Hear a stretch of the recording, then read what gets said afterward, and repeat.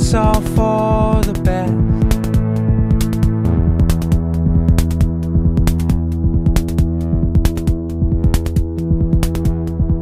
Watch my brother cutting grass outside. Sitting on the porch, he told me it's a long way to